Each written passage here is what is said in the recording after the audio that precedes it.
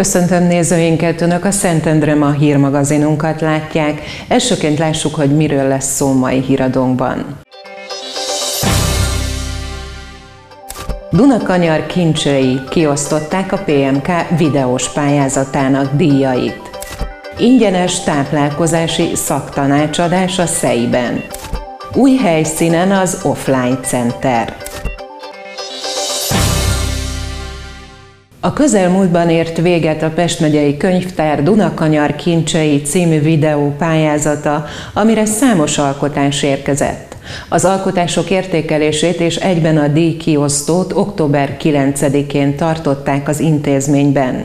A háromtagú zsűriben operatőr és filmrendező is egyaránt helyet kapott.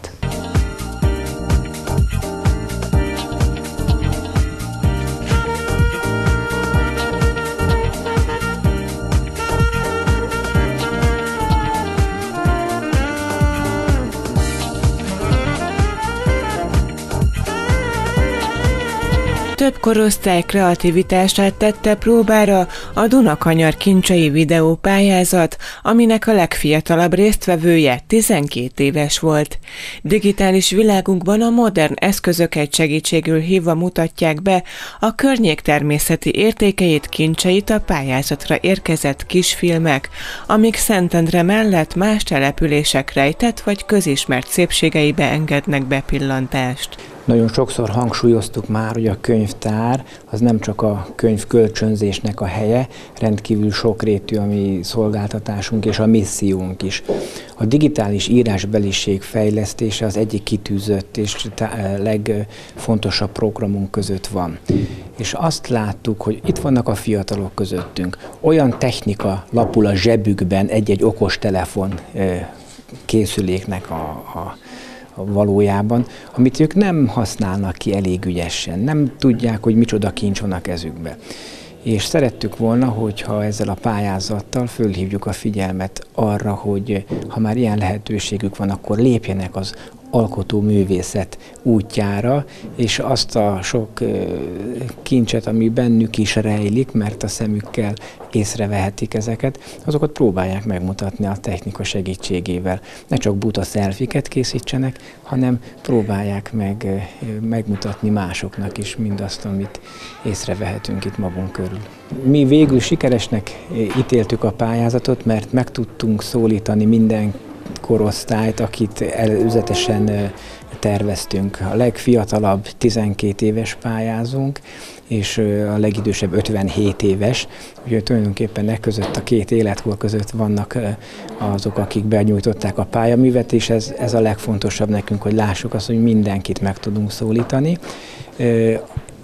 Ez azt is mutatja, hogy az úgymond legamatőrebb, legegyszerűbb felkészültségűek is merítettek bátorságot, és van a versenyzők között, mint kiderült, profi is, és ennek is nagyon örülünk, hiszen most egy olyan film készülhetett el, ami szerintem a városnak egy nagy büszkesége lesz, és sokat fogjuk mi még ezt mutogatni, ahogyan az ő munkásságát is ki fogjuk használni, valószínűleg egyéb ilyen könyvtár munkáját szeretnénk bemutatni egy ilyen verkfilmmel, és arra is majd föl fogjuk akkor így kérni, úgyhogy megtaláltuk magunknak a partnert is egyben, meg tudtuk szólítani a fiatalokat is, és a Szentendre városban itt a, a, a, a boltosok, cukrászdák, éttermek olyan nagy támogatással álltak mögénk, hogy rendkívül gazdag ajándékkal tudjuk megjutalmazni azokat, akik vették a bátorságot és elindultak ezen a pályázaton. Nem volt könnyű dolga a zsűrinek, mert az amatőr filmeseket és a profikat is egyaránt értékelnie, rangsorolnia kellett. A diátadon minden pályamunkát megnézett és véleményezett a zsűri, köztük Szabados Tamás filmrendező, operatőr és Pacskovszki József Balázs Béla díjas filmrendező, forgatókönyvíró látunk olyan képeket, amiket már láttunk, és ugye ezeket mindig javasolnám majd, ha valaki fel még beszélünk, vagy valakiről még beszélek, akkor is meg fogom erősíteni, hogy javasolnám elkerülni, mert tulajdonképpen minden filmkészítés arról szól, hogy egyéni ízeket tegyünk le az asztalra, hogy arra vagyok kíváncsi, hogy te milyen vagy. Te hogyan látod Szentendrét, nehogy azt mutasd meg, amit én is meg tudok nézni, hogy itt a főtéren van egy kereszt. Tehát ezt, ezt én tudom, ezt nekem nem mondd el, azt mondd el, légy szíves, hogy te hogyan látod a Dunakanyar, te milyen érzéseket hoz elő belőled, mit jelent az neked, hogy kincs, mit jelent az neked, hogy víz, hogy Duna. Ugye, tulajdonképpen egy picit mélyebbre kell menni a dolgokba, ez mindig a egy-egy dolgozatnak a lényege, mert akármit csinálunk, ha kiadják nekünk azt, hogy Petőfi Sándorról írja egy dolgozatot, akkor nem, nem a Wikipédiát kell kimásolni, hanem hogy én mit gondolok Petőfi Sándor. Anyám tyúkja, stb. stb. Tehát itt is, amikor önök vagy ti elkészítettétek ezeket a kisfilmeket, az volt a lényeg, hogy ti ki, kik vagytok, és mit akartok mondani ezzel a dologgal. A zsűri nem csak a képeket, a vágást, a zeneválasztást értékelte, de fontos volt az is, milyen hangulatokat ébreszt a nézőben a videó, mennyire fedezhető fel benne a készítő személyisége, és nem utolsó sorban, mennyire mutat a dolgok mögé, a rejtett kincsek felé a kisfilm.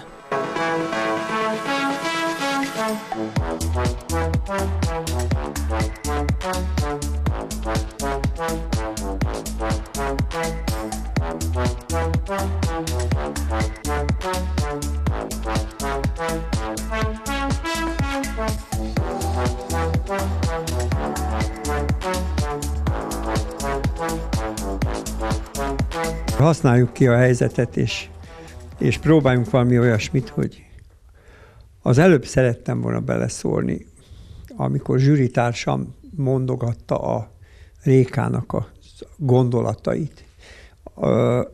Nagyon nagy problémának érzem, hogy a jól vágott film operatőre kapkodó képeket gyárt napjaink legnagyobb problémája, hogyha valaki egy géphez jut, akkor az első az, hogy mindent meg akar mutatni, és mindenhez oda közelít, ide fölmegy, ide lemegy, egy kapkodás az egész.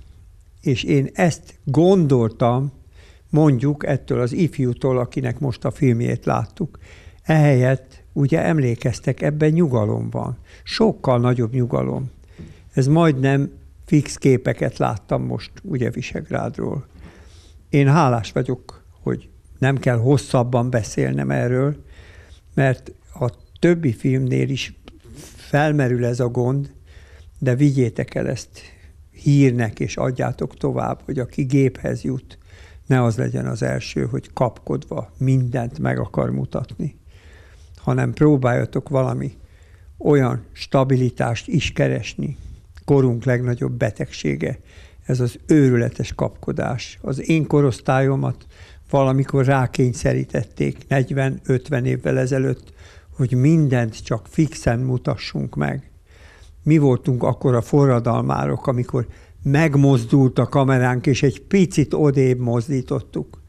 Hihetetlen mennyi fix kép született azokba az időkben a filmekben. Próbáljatok ti is, ha mód van rá, kicsit nyugodtabban, a gépet nyugodtabban kezelni.